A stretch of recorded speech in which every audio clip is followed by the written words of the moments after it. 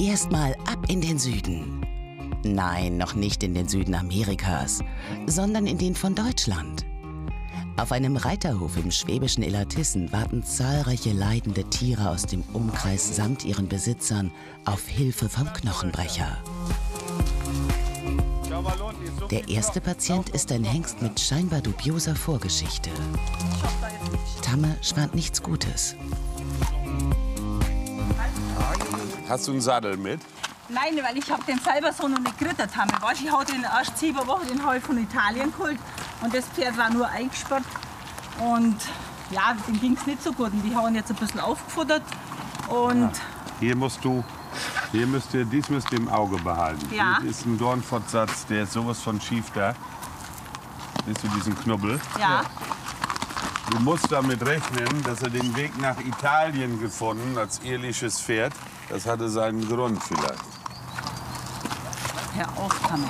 Ja, ich sag's ja nur.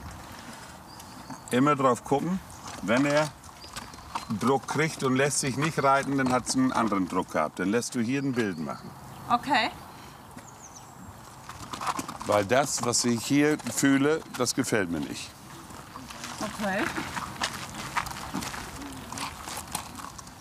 Aus Frankreich und Italien muss man tausendmal vorsichtiger sein mit Pferde kaufen wie aus allen anderen Ländern.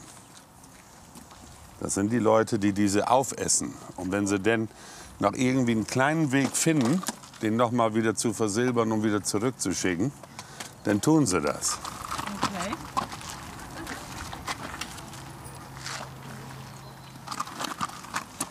Also der muss einen Sattel haben, der äh, ganz viel Freiheit hat. Fühl dich selber mal rüber. Nein, nein, geht schon. Siehst du?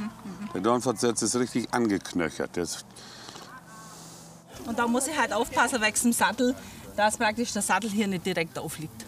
Da muss ich halt schauen dann. Ich muss das auch erst nachschauen, was ich da jetzt nehme oder wie ich das am besten mache. Aber das ist eigentlich. Mit dem kann ich leben. Denn ganz so schlecht steht es doch nicht um ihren tierischen Italien-Import. Hallo. Hallo. Komm, Amigo in Italien. Nur versteht der südländische Amigo offensichtlich weder Schwäbisch noch Ostfriesisch und stellt sich stur. Ihr müsst immer mit reden vorne. Und du stehst da auch wie ein Sack Kartoffeln. Ja, mein ist hier doch, gell? Ja. Du musst uns ja sagen, was wir tun müssen. Nein, ihr müsst doch das Pferd eingehen.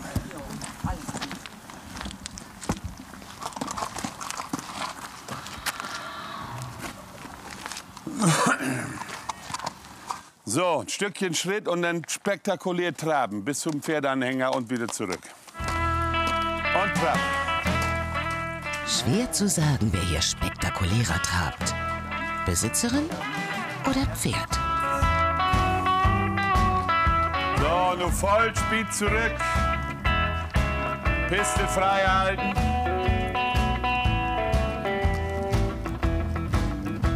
Auf dem halben Ende nachjagen. Die beiden mal ein bisschen Gas geben. So, Anton, Druck geben, nicht aufhören. Traben, ihr seid gerade im Begriff zu traben.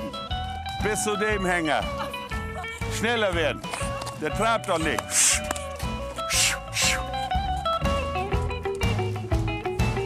Da kriegt Valium wieder eine ganz andere Bedeutung. Das ist ein Traben.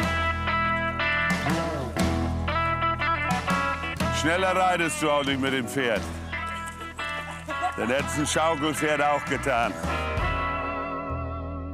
Da muss ich aufpassen wegen dem Sattel. Natürlich in anderem Beschlag, aber der wurde ja noch beschlagen in Italien. Das hat also mein Hufschmied noch nicht gemacht. Und ansonsten, Selenmangel hat da ein bisschen einen, aber das sind Sachen, da hole ich einfach das, was der Tame mir aufgeschrieben hat, hole ich da und dann kriegt er das und dann ist gut. Aber so der Gesundheitszustand von ihm ist ansonsten okay. Anton, du machst weiter. Wenn da jetzt Fragen sind, quetsch hinaus. Alles klar, ich quetsche. Und wenn Anton nichts weiß, schlag in Genick. Okay. Seine Mama hat zu mir gesagt, das muss so laufen, sonst begreift er es nicht.